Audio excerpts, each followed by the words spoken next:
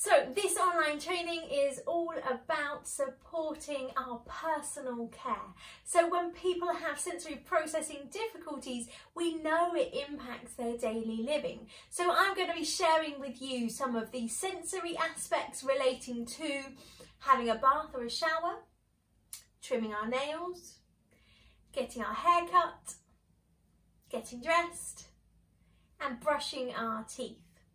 I'll then also expand on that and help us to understand why some people might have difficulties in each of those particular activities and share with you some support strategies, so some ways that we can help to support people to find and adapt to those activities a little bit easier for their own sensory needs.